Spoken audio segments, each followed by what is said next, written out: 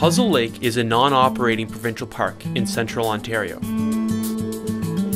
A single canoe route can be found within the park, and from the public boat launch on Gull Lake, canoeists can make their way to the rugged backcountry lakes by a series of short but rough portages.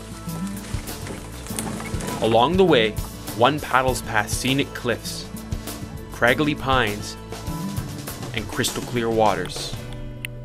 The tranquil waters of Lyost Lake can be encountered midway through the canoe trip and makes for an excellent swimming stop. Unlike the acidified dead lakes of Killarney, Lyost is alive and home to trout and aquatic plants.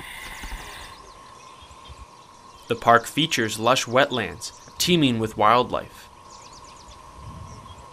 and is home to a healthy population of bass.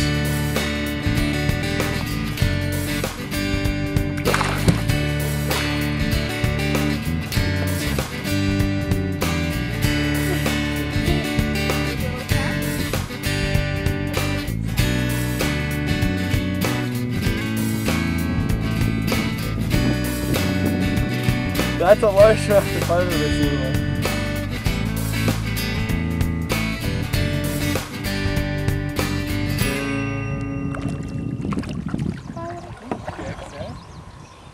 As it is a non operating park, there are no fees or visitor facilities. The portages and campsites are user maintained and not cleared by park staff. All users should practice no trace camping and abstain from littering or cutting trees and vegetation to help preserve the sensitive environment the park protects.